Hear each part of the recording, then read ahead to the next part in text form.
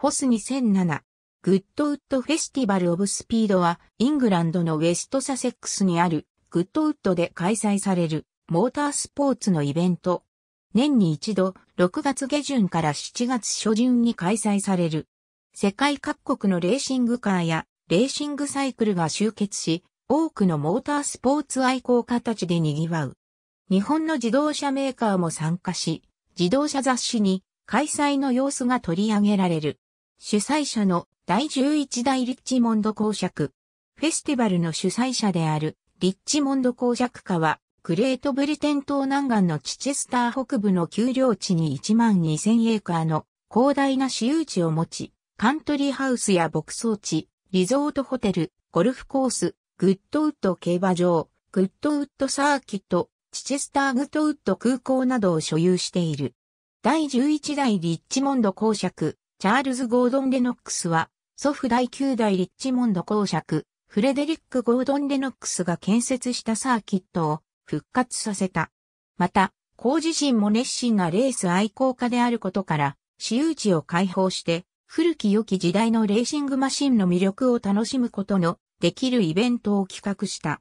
1993年6月13日に最初の大会が開催され、成功裏に終わった。翌1994年からは2日間開催。1996年には金曜日が追加され3日間開催となった。2012年は木曜日曜の4日間で行われる。入場料金は22歳以上の成人の場合、4日間、投資チケットが120ユーロ。カントリーハウス前の広場がメイン会場となり、古くは20世紀初頭のクラシックカーから最新型の F1 マシンまでが多数展示される。名車、陳車の類まで普段目にすることのない様々なマシンを間近で見ることができる。また、専門書籍の書店やパーツショップ、モデルカーショップなどが出展し、ヴィンテージカーのコンクールやオークションも行われる。イギリス荘園文化の香りや開放的な雰囲気からモータースポーツのガーデンパーティーと形容される。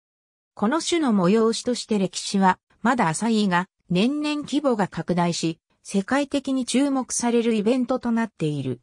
初期の頃は数万人の参加者だったが、2003年には約15万8。なお、フェスティバルの2ヶ月後の9月には、グッドウッドリバイバルというイベントも開催される。こちらは、グッドウッドサーキットを走行するヒストリックマシンのレースイベントである。ヒルクライムのコースレイアウト。イベントのハイライトは、新旧の参加車両が出走するヒルクライムレースである。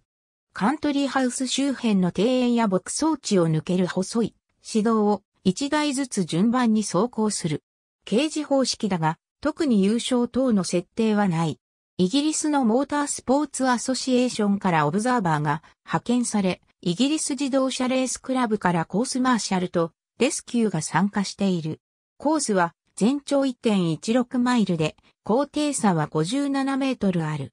コース脇にはガードレールではなく、バラで作った昔ながらのストローバリアが並べられている。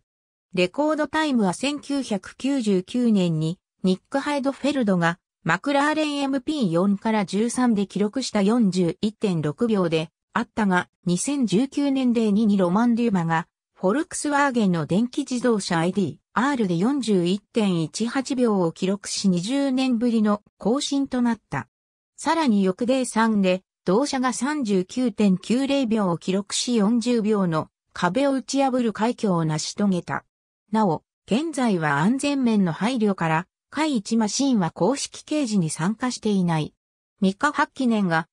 また近年では世界ラリー選手権用のワークスマシンを中心としたラリーカーのために特設ラリーステージも設けられている。出走車両は年代やカテゴリーによってクラス分けされる。以前はソープボックスによるレースも行われていたが、2004年を最後に休止されている。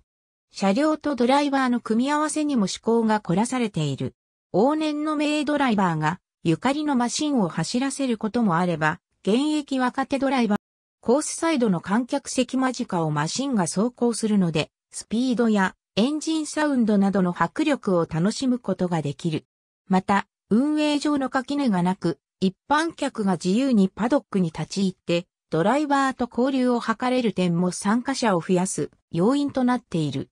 2013年12月発売の PS3 用ゲーム、グランツーリスモ6には、このヒルクライムコースが収録された。マクラーレン MP4、8をドライブするブルーのセナ。2000年のヒルクライムでは、死亡事故が発生した。ジョン・ドーソン・ダマーがドライブするロータス63が、ゴール付近でコントロールを失い、オフィシャルポストに激突。ドライバーとオフィシャル1名が死亡し、もう1名のオフィシャルも片足を切断する重傷を負った。また、同年のイベント、ガスコインは無傷だったが、マシンはひどく損傷した。グッドウッドでは毎年何がしかのテーマを設けて、そのテーマに沿った車両やゲストが招待される。また、特定の自動車メーカーを取り上げ、そのメーカーにイベントのホストを任せている。メイン会場の庭にはメーカーの実写を使った巨大なオブジェが展示される。過去に取り上げられたメーカーは以下の通り。ありがとうございます。